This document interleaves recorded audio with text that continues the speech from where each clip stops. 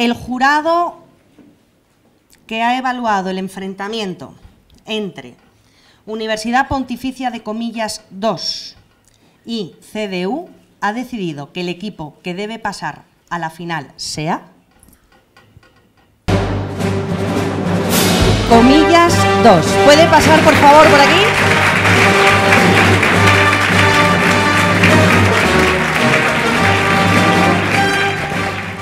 El jurado que ha presenciado y valorado la semifinal que enfrentaba a CEU contra UFV 2 ha decidido que el equipo que debe pasar a la final sea CEU.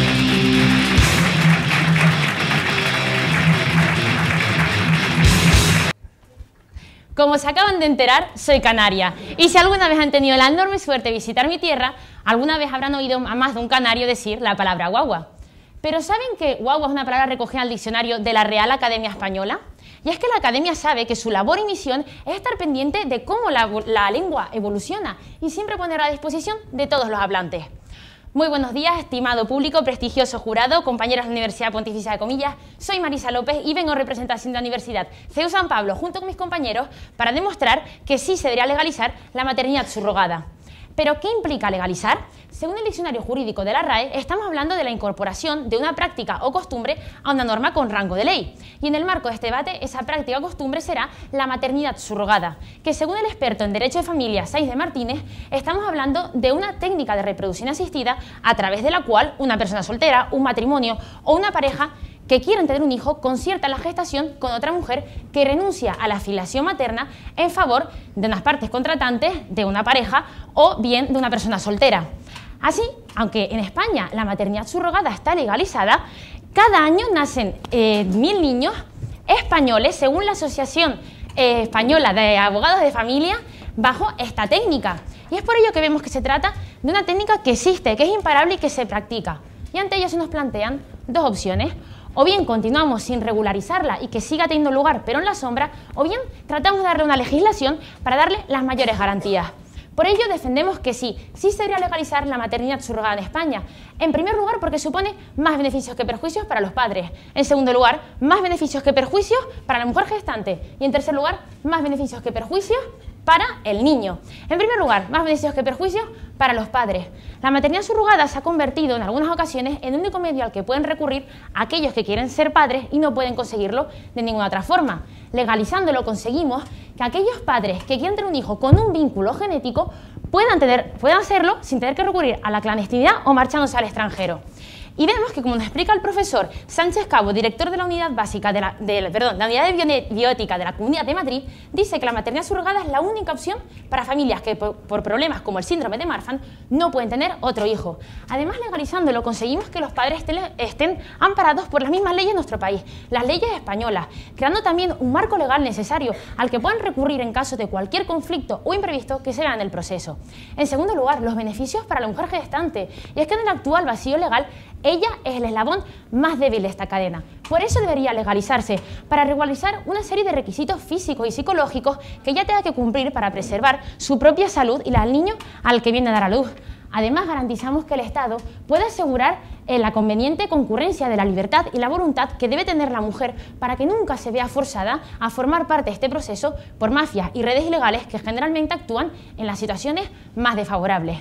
Y en tercer y último lugar, beneficios para los niños. Y es que más allá de su propia existencia, queremos la protección de los derechos de los niños, porque generalmente eh, carecen de un reconocimiento social y jurídico que queremos otorgarles.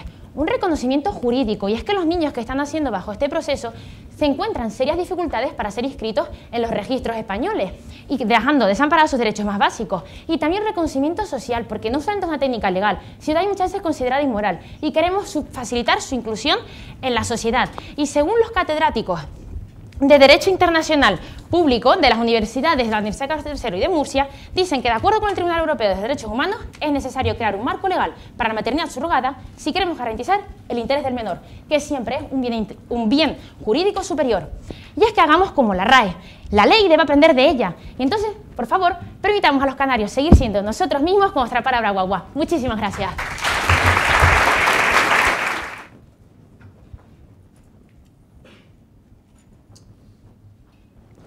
La verdad no hace tanto bien en el mundo como daño hacen sus prejuicios. Roche Foucault. Muy buenos días a todos, mi nombre es Jaime Uteleri, junto a mis compañeros Javier, Antonio, Javier y Marta, todos como integrantes del equipo de Comillas 2, a lo largo de este debate defenderemos un claro no. No se debería legalizar la maternidad subrogada en España. Pongamos la verdad sobre la mesa. Muchos han hablado de la gestación subrogada y muchas promesas se han hecho por parte de sus partidarios. Prácticamente un mundo feliz. Sin embargo, seamos prácticos, seamos realistas. Al final del día solo tendría sentido legalizar la maternidad subrogada si el impacto que generasen sus hipotéticos beneficios fuese mucho mayor que el terrible peligro de sus perjuicios. Señoras y señores, solo hay una tesis a demostrar. No se debe legalizar, ya que es perjudicial desde cualquier perspectiva. Y así lo creemos por dos argumentos. Por una parte, un argumento ético, que no solo sugiere, sino que demuestra que la maternidad subrogada atenta directamente contra la dignidad del ser humano. Por otro lado, un argumento práctico, que evidencia el incuestionable carácter perjudicial de la práctica. Empecemos con el ético. ¿Por qué atenta directamente contra la dignidad del ser humano? Una pregunta más que lógica. Muy simplemente por dos razones. Uno, la explotación del cuerpo como objeto de comercio. Sin duda alguna, la libertad de las personas tiene un límite por la misma razón que yo no puedo vender mi riñón para evitar la consecuente explotación, la maternidad subrogada se posiciona como un claro ejemplo de cosificación. Y no solo es el comercio, la dignidad lo que nos preocupa, sino evidentemente también los evidentes gravámenes psicológicos a los que se ven sometidas las mujeres, como bien menciona Basanti Jadba, experto en la materia y doctor del City University London. Punto número dos. La renuncia adelantada de la patria potestad. Los ordenamientos jurídicos protegen una serie de derechos especialmente relevantes para garantizar la dignidad de las personas, una serie de derechos condicionantes de la personalidad. Por ejemplo, yo no puedo renunciar a educarme durante los próximos 10 años. Mi madre no puede firmar un contrato permitiendo que mi padre la pegue durante nueve meses. Y ninguno de mis compañeros aquí presentes puede legalmente comprometerse a votar un partido meses antes de las elecciones. Por tanto, es evidente que la renuncia anticipada a un derecho completamente inalienable, no surgido al tiempo de la celebración del contrato, es completamente ilógico y consecuentemente inaceptable. Pero pasemos ahora al segundo argumento, cómo incluso en la práctica es perjudicial. Dos ramas, adopción y privación del hijo. En cuanto a la adopción, es obvio que la adopción y la maternidad subrogada son sustitutivos casi perfectos. La opción entre escoger un hijo, biológico y otro hijo no biológico es cuanto menos obvia. Pero mejor que las palabras son los números. Vean aquí estadísticas de, de, la Sociedad de Reproducción Asistida de Estados Unidos, detallando claramente el daño causado a la adopción por parte de la maternidad subrogada. Desgraciadamente, esto no solo ocurre en países contados. A escala mundial, el número de huérfanos crece constantemente a medida que, en efecto, las familias se desplazan hacia la maternidad subrogada. Punto número dos. Privación del hijo a la madre gestante. Mayo del 2015. Los tribunales ordenan a la madre subrogada a entregar el bebé. Les ponemos el caso de Juliet. Ella quería quedarse con el bebé, pero se lo arrebataron de las manos. Privar a una madre de su hijo, arrebatarle a su descendiente, supone de manera invariable un ataque contra la dignidad de la madre gestante. Bien, hemos dicho muchas cosas, pero a modo de resumen, estamos en contra de la explotación de la mujer. Estamos en contra de la renuncia anticipada de derechos que son absolutamente fundamentales. Estamos en contra de perjudicar la adopción y estamos en contra de la privación del hijo a la madre gestante. Señoras y señores, no se debería legalizar la maternidad subrogada en España. Retomando a Ressu Foucault, no debemos dejarnos engañar por las apariencias de verdad que tanto daño han hecho a este mundo. No debemos creernos aquello que puede llegar al final del día a ser tan peligroso como el mismo fuego. Muchas gracias. Buenos días, mi nombre es Ángelo García y antes incluso de demostrarles por qué es beneficioso legalizar la maternidad subrogada, quisiera comentar una serie de fallos en los que ha incurrido el equipo rival. Y es que nos han hablado de dos ideas, básicamente, de que no se debe de legalizar porque no es ético y de que no se debe de legalizar porque no es práctico. ¿Saben lo que no es ético? No es ético asociar a la mujer y su dignidad al hecho de poder ser madres y por lo tanto llevarse las manos a la cabeza si estas libres y voluntariamente deciden prestar un servicio y, que, y lo cual es lo que hoy venimos a debatir. Adolece de inmadurez social y jurídica su argumento, pero dejémoslo ahí, porque también nos han hablado de que no es práctico. ¿Saben lo que no es práctico? No es práctico irse a Estados Unidos y, pagar y tener que pagar 150.000 euros para poder ser eh, padre y madre por maternidad subrogada. No es práctico tener que recurrir a mafias y a, irse a países de Europa del Este para poder eh, tener este, este tipo de reproducción asistida. legalizarlo es lo que no es práctico y inmaduro jurídica y socialmente es lo que no es ético. Si bien también nos han hablado de la cosificación, ¿es comercio? Sí, pero de un servicio, un servicio que mediante la ley garantizaremos que es con plena voluntad y garantizando la dignidad de la madre. Su protección jurídica y su consentimiento están más que patentes. Un servicio donde la ley garantizará que todas las partes salgan beneficiadas. Su pregunta absoluta, ¿está usted de acuerdo que la libertad no es absoluta y que cuando puede causar un daño se puede restringir? Por ejemplo, yo no puedo comprometerme a dejar que mi marido me pegue porque soy ya contra mi dignidad. Justamente lo que va a hacer la ley es garantizar esa voluntad de la que usted está tan preocupado. Es justamente con la legalización cuando realmente garantizamos la libre voluntad y la libre dignidad de la madre. Y es que, a su vez, también han planteado un marco y una tesis en la cual solamente critican a la maternidad subrogada como concepto, sin hablar en ningún momento de la legalización de la misma, y por lo tanto se quedan de nuevo fuera de este debate. Y es que nosotros les demostraremos que es beneficioso a tres niveles. Beneficioso para los padres, beneficioso para la mujer gestante y beneficioso para los hijos. Es beneficioso para los padres. ¿Por qué? Porque permite ser padres biológicos aquellos que no tienen otra opción. Hablamos de familias monoparentales, homosexuales o aquellas mujeres que por enfermedad, todas estas opciones les están total y absolutamente vedadas y no hay alternativa posible para muchos de ellos. Permite tener hijos y con la legislación le damos esta opción. También supone el último paso en su reconocimiento y amparo jurídico y es que a lo largo de la historia de la, maternidad subrogada hemos visto cómo la ley la ha ido siguiendo, le, eh, ha ido siguiendo eh, mediante la legalización. En un primer momento se prohibió de forma absoluta, luego se ha, estado legalizando mediante una sentencia del Tribunal Supremo en la cual permiten a los padres acceder a, a, los beneficios de, de las prestaciones por paternidad. El último paso coherente y lógico en esta legalización es dotarle de plenas garantías y seguridad jurídica. Y es que también es beneficioso para la mujer gestante. ¿Por qué? Porque estableceremos unos requisitos, al igual que los que poseen la legislación norteamericana. Dichos requisitos garantizarán que la mujer no se vea en ningún limbo jurídico o situación alegal, porque no nos olvidemos que esta práctica va a seguir pasando. Al dotarle de protección jurídica estaremos evitando esta explotación, esta explotación a la que se ven envueltas hoy. Y déjenme citarles textualmente un estudio de la Universidad de Buenos Aires en las cuales el doctor Javier Martín Camacho nos dice, y cito textualmente, ¿qué es lo que evitaría que no sean explotadas estas mujeres? ¿Que prohibamos dichas prácticas? ¿Que señalemos su carácter inmoral? No, sino la regulación por parte del Estado. Y por último, beneficios para los hijos, porque les, otorgaría ese reconocimiento jurídico y social que hoy en día no tienen.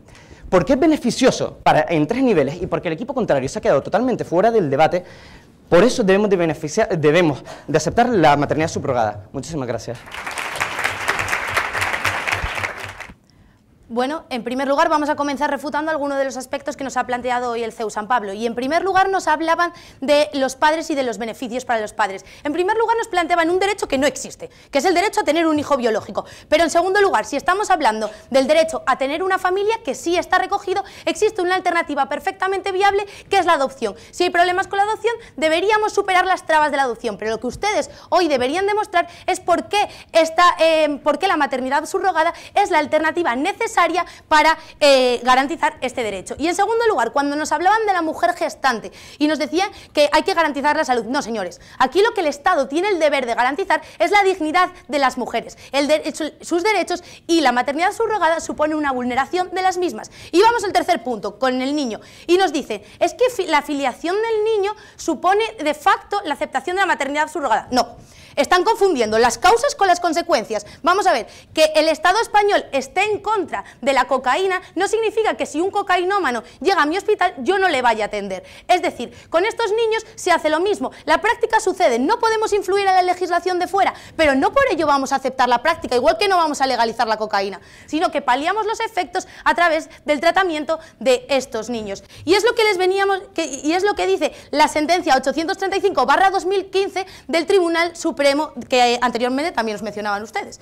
Y vayamos a lo que les estábamos planteando hoy, porque es muy importante que eh, entender el plano ético. Y les planteábamos dos puntos ya desde la introducción. En primer lugar, cómo se atenta contra la dignidad de la mujer y nos decían ustedes, no se atenta con ella porque no se atenta contra ella porque existe la libertad. Vamos a ver, la libertad es un derecho que se puede limitar. Se limita cuando existe un daño. Este daño existe como les estamos probando. Por tanto, se debe limitar esta libertad o esta autonomía para poder garantizar los derechos de estas mujeres. Y es lo que les planteábamos en nuestro primer argumento. ¿Por qué la maternidad subrogada daña la dignidad de las personas? Porque estamos aceptando que el cuerpo es un bien comerciable y nos da igual que sea altruista, que sea gratuita o que sea voluntaria. En cuanto se incluye el cuerpo humano dentro del tráfico jurídico, se está negando el valor incalculable del mismo. Del mismo modo que yo no puedo aceptar esclavizarme durante 10 años en un contrato previo. Adelante con su pregunta.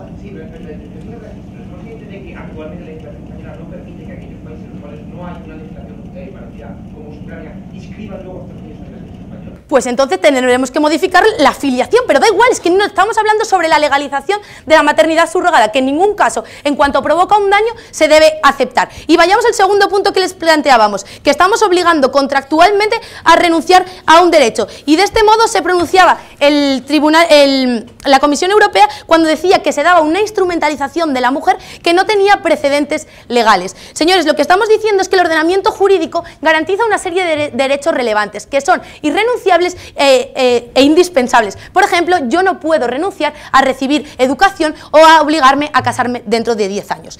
Y por otra parte les planteábamos un punto práctico y les hablábamos de la adopción, ignorado totalmente. Vamos a ver, la adopción es una alternativa perfectamente viable porque no existe este derecho que ustedes nos están contando a tener un hijo biológico y eh, es una forma de formar una familia y además nos aporta un valor social que es ayudar a otras personas. Y el segundo punto, un punto también ignorado, que es la privación del hijo. Les enseñamos los estudios del London School of Economics que nos cuenta el, que el 32% de las mujeres sufren problemas psicológicos después del embarazo. Señores, lo que hoy estamos diciendo es que en cuanto en la libertad de las personas se debe limitar por parte del Estado cuando se produce un daño y tenemos un peligro desde el plano ético, pero eh, desde el plano práctico, un daño a la adopción que es muy importante. Y por otro lado, a la mujer, en cuanto se le puede privar de este hijo, hoy solo podemos decir que no a la maternidad subrogada. Muy buenos días, mi nombre es Jorge Álvarez y en este segundo turno de refutación por parte de la Universidad CEU San Pablo quiero explicar por qué muchas de las cosas que nos ha dicho la Universidad Pontificia de Comillas efectivamente tiene el problema de que parten de cosas verdaderas y cosas que además suenan muy bien, pero luego sin embargo vemos que los razonamientos no se completan y por lo tanto no acaban respondiendo a la pregunta porque efectivamente hoy tenían que venir aquí a decirnos por qué no se debe legalizar la maternidad subrogada, existiendo este problema como demostrábamos, y por qué efectivamente la legalización supondría más perjuicios que beneficios. Y ellos nos decían, hay una serie de problemas con la maternidad subrogada que vamos a demostrarles. Y nos decían, en primer lugar, porque hay gravámenes psicológicos, lo englobaban en un bloque ético y un bloque práctico que al final tenía varias ideas sueltas, pero vamos a ir una por una, ¿no? Decía, gravámenes psicológicos para la madre. Y era gracioso porque nos, citaban, nos citaban al profesor Basanti Yabda, de la City University of London, ¿no?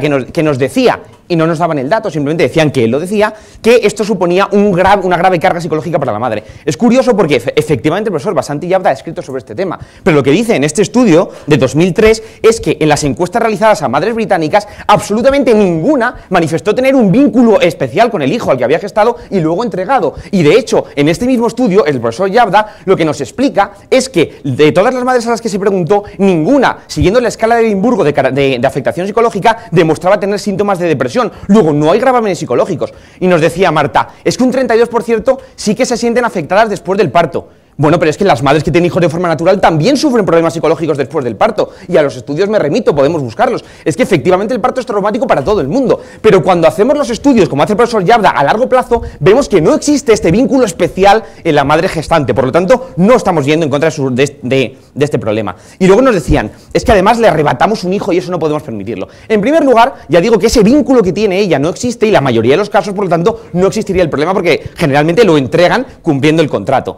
Pero aún así, Sí, es que en el contrato que estas mujeres libremente han firmado, han renunciado a la patria potestad de este hijo. Luego realmente no es suyo. Y ustedes nos dicen, es que a la patria potestad no se puede renunciar. Lo cual es falso. Porque si yo considero que no puedo cumplir mis obligaciones como padre puedo renunciar a la patria potestad en favor de otra persona para el bien del menor, que es siempre el interés jurídico superior. Luego su argumento de la patria potestad también es falso. Entonces nos damos cuenta de que todos estos problemas psicológicos para la mujer no existen. Eh, su pregunta.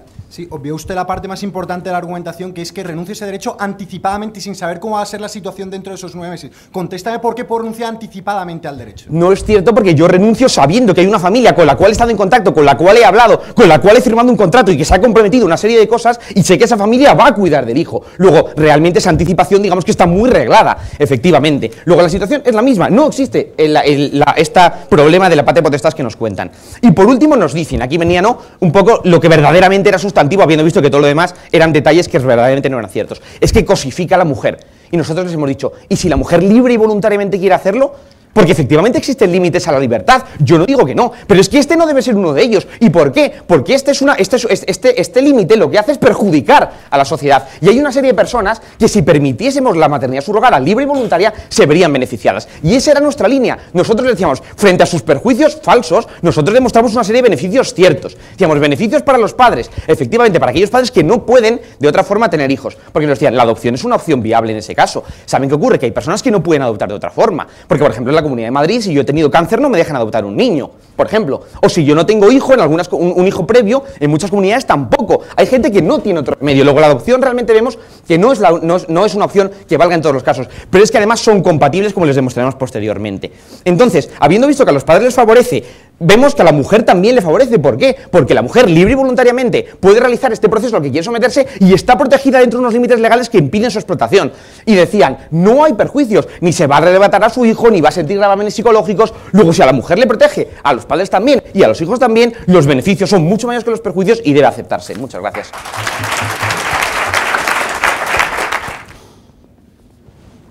Una idea general y tres argumentos. La idea general es que esto es una tendencia porque ella decía guagua y lo aceptó la RAE, yo decía croqueta, concreta y nos lo aceptó la RAE. Que hay una tendencia no implica que algo tenga que legalizarse. Por ejemplo, hay una tendencia a lo mejor a consumir más cocaína, probablemente, pero eso no hace que haya que legalizarlo. La tendencia probablemente no quieran recuperarla porque pues, es un razonamiento muy profundo. Pero vamos a los argumentos. Tres. Uno, supone un beneficio para las familias. Y nos dicen que existe un derecho biológico a tener hijos. Impresionante abandono a este argumento, ¿no? Porque mi compañera Marta le dice que no existe. ¿Dónde está la contestación? Todavía está por venir el debate. Lo que sí que hay es un derecho, artículo 16 del Convenio de Derechos Humanos y 12 de la Declaración Universal de Derechos Humanos, de crear una familia. Lo que no han analizado es si era suficiente la alternativa menos lesiva que hemos planteado, que era la adopción. Nosotros dijimos, hay muchos niños huérfanos en España y también fuera que pueden ser adoptados. Es una medida más social y menos lesiva que la maternidad subrogada. Jorge lo ignoró y la única cosa que dijo es que en la Comunidad de Madrid no se podía adoptar si habías tenido cáncer. Bueno, pues cambiemos eso, permitamos a la gente con cáncer que adopte, pero la adopción es una alternativa mucho menos lesiva. Hoy en España hay 18.000 niños que no pueden ser adoptados. ¿Por qué? Porque están esperando a que la administración lo regule. Pues regulémoslo y mejoremos la adopción. Por tanto, primer argumento, perjuicio a las familias, le dijimos que no existía el derecho y también les explicamos por qué la adopción era mejor. Segundo punto, la mujer gestante, decían, es que está débil, les dimos dos cosas. Yo no quiero que haya mujeres gestantes, y es que se lo estamos explicando, legalizarlo aumentaría las mujeres gestantes, yo no quiero que haya más, no lo legalizo. Pero otra cosa, ignoran completamente cómo funciona esto. La mujer gestante está en California y en California está protegida. Esto, por favor, Carlos. En California está legalizado y como está legalizado, el gobierno de Estados Unidos protege a la madre gestante que está allí. No hay ninguna desprotección. Segundo argumento fuera del debate. Tercer argumento supone un beneficio para el niño. Y nos una cosa muy curiosa y es que no se puede filiar al niño. Tengo dos refutaciones, la mía y la del Tribunal Supremo. La mía es que se puede proteger las causas sin proteger las consecuencias sin proteger las causas. Yo protejo la afiliación del niño que viene por gestación subrogada y lo protejo al máximo, todo lo que pueda, pero no acepto la, causa que es la maternidad subrogada porque estoy profundamente en contra. Se puede perfectamente y de hecho es lo que hace el Tribunal Supremo. Si no les gusta la mía, tengo la del Tribunal Supremo, sentencia 845-2013, que dice textualmente que no está de acuerdo con la maternidad subrogada porque es una infracción de las normas destinadas a evitar que se vulnere la dignidad de la mujer. Sin embargo, resuelve un recurso de la Dirección General de Registradores del Notariado porque se aceptó una afiliación, se recurrió esa aceptación y el Tribunal Supremo se pronuncia a favor. ¿Por qué? Porque se protegen las consecuencias, pero no la causa porque se está en contra de la causa. Todos sus argumentos están contestados. Vamos a ver los nuestros. Pero antes, Jorge, tu pregunta. Sí, obviando que ese caso sobre California y no sobre Ucrania, que es el ejemplo que ponía antes, Vamos a ver, ¿realmente quieren eh, perseverar en la comparación de tener un hijo con pegar a tu mujer o con tu consumidor? Jorge, que en, Ucrania también protegen a sus nacionales. O sea, en Ucrania hay una legislación por la cual se protege a la madre gestante ucraniana. En Kiev no dicen, oye, muérete, no, se la protege. Entonces, todos los argumentos refutados, vamos con los nuestros. Primero era un plano moral y les decíamos que es que hay un derecho que es el derecho a la dignidad, que es una renuncia que no se puede permitir. Dos cosas nos dijeron. El primer refutador nos dijo que era inmaduro, no entendí muy bien la refutación. Y el segundo nos dijo que eran detalles. ¿Cómo que detalles?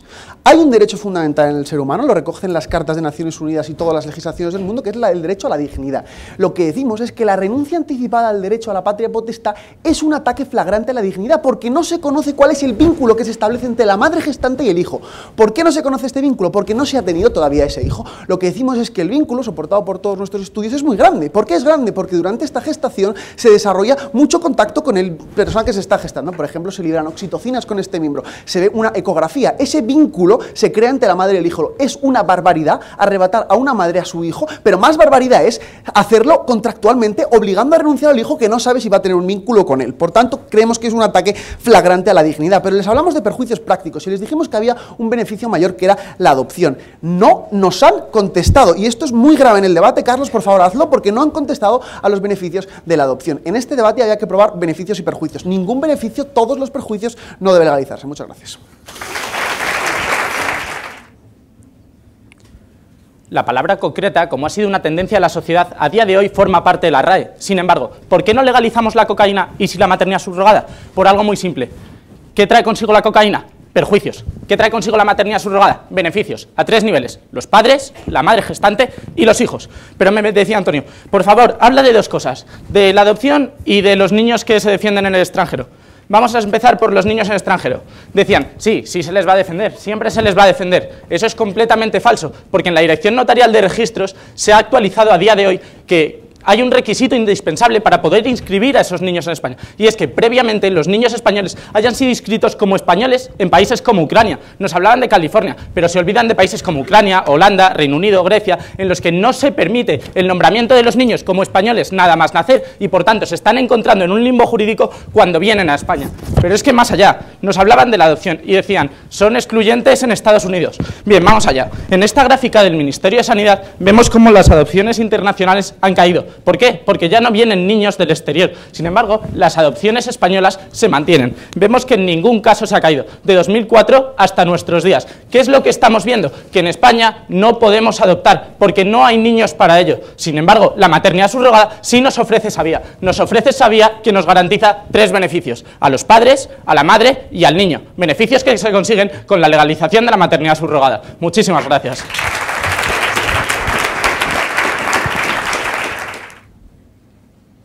Bien, rápidamente. Nos han dicho que los niños están desprotegidos, pues prácticamente toda su argumentación anterior ya había sido tirada diciendo que no queremos proteger a las familias para que tengan algo que queremos ilegales. Entonces se han centrado en el niño. Y nos han dicho que está desprotegido porque no se puede inscribir. En primer lugar, le hemos mostrado que sí se puede inscribir y aquí le dejo la sentencia del Tribunal Europeo de Derechos Humanos, que después fue aplicada por la, por la sentencia del Tribunal Supremo, que nos han dicho. Y nos han citado el caso de Ucrania. La verdad es que supongo que sean casos bastante residuales y será porque ha habido un caso extremo, porque va en contra de toda la legislación. Pero en cualquier caso, imagínense que sea verdad. Pues miren, permitan que se inscriban los de Ucrania programa solucionado y les permitimos inscribirse y por lo tanto no hay problema. La cuestión es que hay una enorme diferencia entre simplemente regular algo que ya está ocurriendo, aunque me parezca mal, es decir, proteger a estos niños porque ya están ahí, a permitirlo. Yo no permito algo que está mal. Ahora, si ha ocurrido algo que está mal, lo protejo. Eso por un lado. Y por otro lado, la adopción. Y en la adopción simplemente nos han dicho que no hay suficiente gente. Y bueno, les hemos dicho eh, desde el principio que había 18.000, pero es que hay 18.000 en vías de adopción y 33.000 huérfanos en vías de acogida. ¿Esto qué quiere decir? Que por culpa de la legislación española, y cito textualmente a UNICEF, las restricciones son tan altas que no se está pudiendo ejercer esta opción.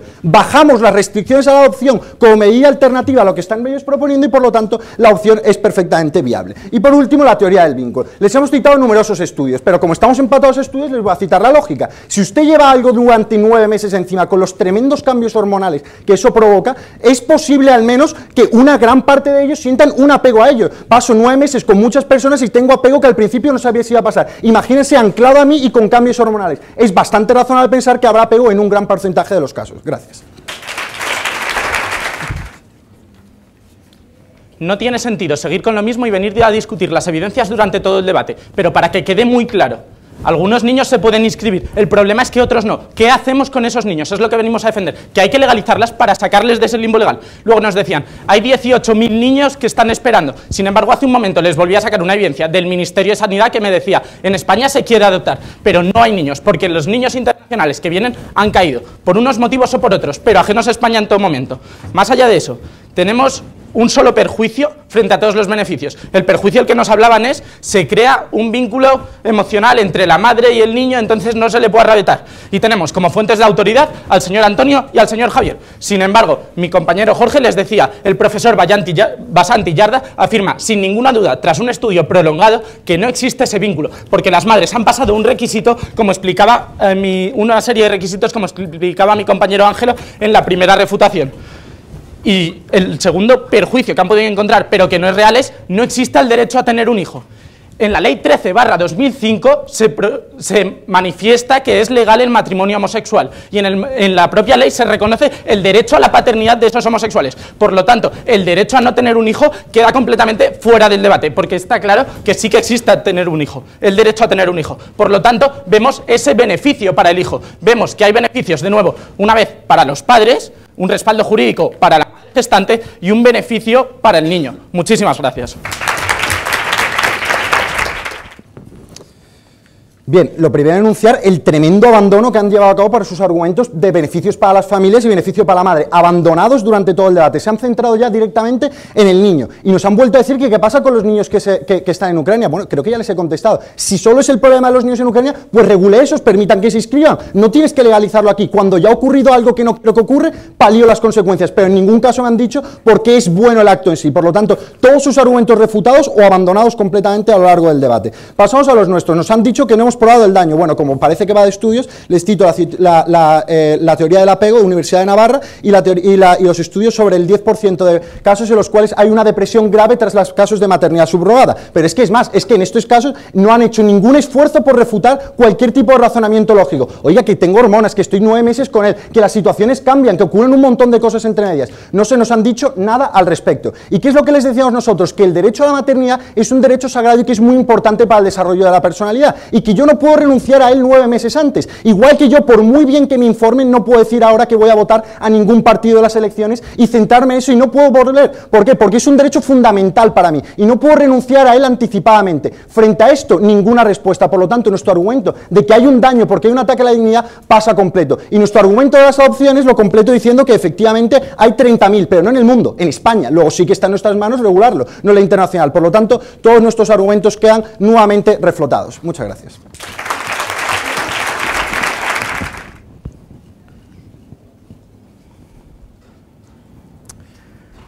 Muy buenas tardes ya y muchas gracias a nuestro ilustre jurado, nuestro numeroso público, nuestros amigos del CEU San Pablo y a la Universidad Francisco de Vitoria.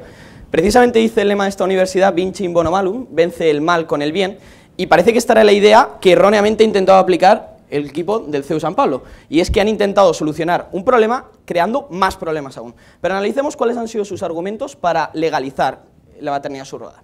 Su primer argumento era los beneficios para los padres, que se centraba en una única cosa, y era que era la única vía para tener esa familia. Y cuando les hemos expuesto que no existe el derecho a tener una familia biológica, incluso cuando lo citaba Carlos, lo que existe es un derecho a tener un hijo, no biológico, y les planteamos una alternativa menos lesiva, como era la adopción, que tenía el mismo beneficio para los padres, ¿qué nos han dicho? Nada, sencillamente que no había oferta suficiente.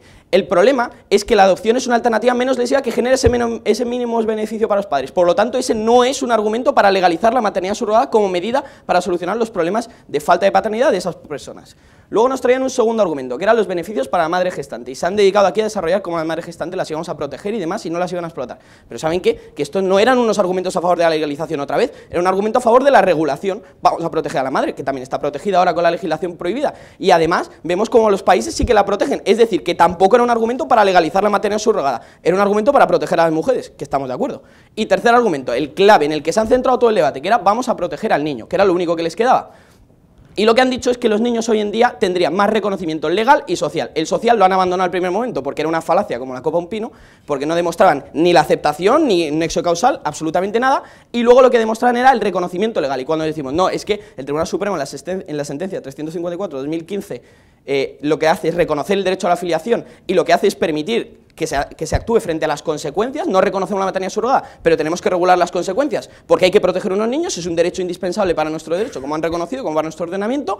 Lo que han dicho es que no, es que hay unos casos en los que no se reconoce y cuando les planteamos, no, reconozca esos. Eso no es, otra vez, una razón para legalizar la maternidad subrogada. Lo que hacen es plantear problemas de la situación actual, pero ningún argumento por el que la maternidad subrogada sea la respuesta a estos problemas. Y desde nuestro equipo, ¿qué les planteamos? Que frente a los inexistentes beneficios que nos traían, había muchísimos perjuicios. Perjuicios a dos niveles.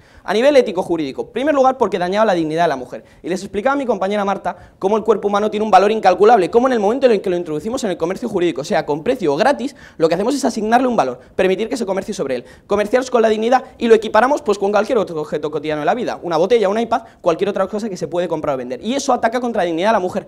Pero es que además, por si no fuera poco, supone una renuncia anticipada de derechos. Y esto ya es bastante importante.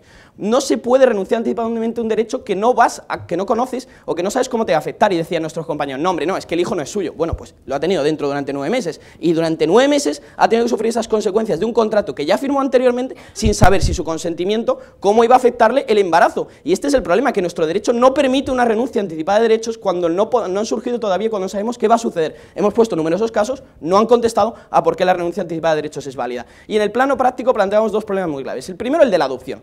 Estamos de acuerdo en que la adopción tiene un valor social. Su problema era que no había suficientes. Hemos traído una evidencia de UNICEF 2017, datos, 30.000 niños en España pendientes de adopción, 33.000 familias, hay relativamente suficiente para cubrir con esa, eh, con esa demanda de ser padre. Pero es que además olvidan el valor social que tiene la adopción y el hecho de que legalizar la maternidad surrogada provocamos un daño porque es un bien sustitutivo a la adopción, que es algo clave porque aporta un valor a los huérfanos y un valor para la sociedad en su conjunto. Y además hablábamos de los daños emocionales que se generan y hemos traído los estudios de los últimos años en los que se referían a casos concretos y necesitaban hasta un 10% de mujeres asistencia sanitaria por daños psicológicos graves. Estábamos hablando de un problema muy real.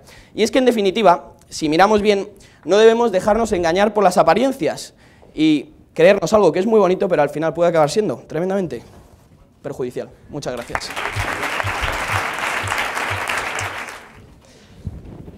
Bien, durante el tiempo que hemos estado preparando este debate, habrán nacido en España 83 niños por maternidad subrogada, viniendo al mundo por una práctica considerada ilegal y sin la protección jurídica para la madre que les ha llevado nueve meses en su vientre, comenzando su andadura en el mundo siendo considerados ciudadanos de segunda, al margen de la ley. Los dos equipos que estamos hoy aquí teníamos una responsabilidad, dar una respuesta a esta realidad. Muy buenos días, mi nombre es José Granda y a continuación realizaré el turno de conclusiones en nombre de la Universidad CEU San Pablo. No sin antes agradecer a este numeroso público el apoyo que nos está dando, al prestigioso jurado por la atención que nos ha prestado y al equipo contrario de comillas por este intenso debate. Este debate en que hemos hablado muy bien todos, hemos sacado muchas evidencias, así que lo que tenemos que hacer realmente es ir al fondo del asunto y ver qué tenía que decir cada uno y qué hemos dicho. Bien, la responsabilidad que tenían nuestros, equipos, nuestros amigos de comillas era, primero, demostrar que la legislación, la legalización, no resuelve los problemas planteados sobre la maternidad subrogada en este debate. Y segundo, evidenciar que el reconocimiento legal de esta práctica no traería más beneficios que perjuicios. ¿Qué han hecho ellos? Bueno, nos han venido a hablar de los problemas de la maternidad subrogada, no de su legalización y cómo se haría frente en España. Tampoco hemos venido a hablar de cuál es la mejor técnica de reproducción, sino de qué respuesta le vamos a dar a la realidad de la maternidad subrogada en España. Bien, ¿Con qué, argumentos venían a contarnos su libro? Bien, en primero nos decían que no es ético, que atenta contra la dignidad de la mujer y crea problemas psicológicos. Primero, hemos evidenciado que precisamente legalizarla garantiza la dignidad de la mujer y asegura que concurra la libertad para participar en el proceso a través de la legislación. Y segundo, les hemos dicho que para hacer frente a los problemas que puedan surgir eh, psicológicos, fijamos por ley unos requisitos que aseguren la idoneidad de las mujeres y las protejan durante el mismo. Y por último, Jorge y la City University of London han evidenciado que era falso el problema principal del vínculo irrompible del que ellos nos hablaban y que era su único perjuicio. Su segundo argumento era el argumento práctico, su arma secreta. Nos presentaban una falsa dicotomía entre la adopción y la maternidad subrogada. Les hemos evidenciado que no existe ningún nexo causal entre legalizar uno y acabar con el otro. Y por último, que la maternidad subrogada no es, es, es solo una alternativa a la imposibilidad de adoptar. No chocan. ¿Qué les hemos dicho nosotros? Bueno, que a pesar de los problemas, el problema falso del vínculo que nos traían, traemos unos beneficios que se darían siempre y para todos los actores. ¿Qué beneficios? Pues ya, tendríamos beneficios para los padres. Para esta gente es la única vía, bien por enfermedades o bien porque no pueden adoptar, para tener hijos. ¿Y qué son esta gente? ¿Son delincuentes? No, son parejas, familias que quieren poder tener hijos. Solo queremos darles un marco jurídico para que se puedan desenvolver en todos esos problemas y vicisitudes que pueden surgir dur- durante el proceso, que no tengan que acudir al extranjero ni que quede restringido solo para las personas con más, con más recursos. En segundo lugar, porque trae beneficios para la mujer ges- gestante. Y es que si en algo ha acertado el equipo contrario es que hay una parte especialmente vulnerable aquí, la mujer gestante. Pero con una situación de vacío legal no hacemos más que agravar este problema. ¿Qué queremos nosotros? Y que quede claro, legalizar, para regular, para proteger. Y esto es lo que viene a decir hoy el equipo CEU San Pablo. Queremos fijar unos requisitos para que se dé la idoneidad de la mujer, la libertad y que nunca haya coacción. Solo de esta manera podemos protegerla realmente. Y en último lugar, beneficios para el hijo. Si tenemos que garantizar especialmente el reconocimiento y la, tutela de los derechos de alguien aquí, es del niño. Y es aquí cuando la legislación se convierte en esencial. Solo de esta manera podemos darle un reconocimiento jurídico para su inscripción. Y aunque a ellos no les preocupe, los niños que han nacido en Ucrania no pueden ser inscritos ahora mismo en España. ¿Qué respuesta le vamos a dar a esta realidad? La única, clara, lógico lógica y evidente. Eh, legalizar la maternidad subrogada en España. No solo le estamos dando a la familia un niño, le dando al niño que ya ha nacido una familia. Y es que una cualidad esencial de la justicia es hacerla pronto y sin dilaciones. Hacerla esperar es injusticia. Nos quedamos sin tiempo. Muchas gracias.